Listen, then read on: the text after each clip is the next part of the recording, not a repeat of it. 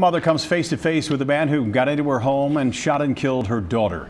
Today, Michael Prewitt pleaded guilty to murder and felonious assault. Last December, police say Prewitt showed up at Kesha Jendrysik's home, this is in Price Hill, shot her new boyfriend, and then shot her mother, or shot at her mother, rather, Polly, then shot and killed Kesha, the daughter.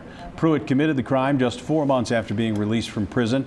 Today, Judge Jody Luebbers sentenced him to 20 years to life in prison. Dramatic